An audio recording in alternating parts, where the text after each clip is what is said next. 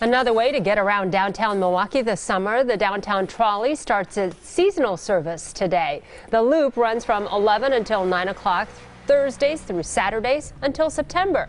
It is just $1 to ride. We've posted a link with all of the route information on our website, and you can find it at tmj4.com slash links. Still ahead.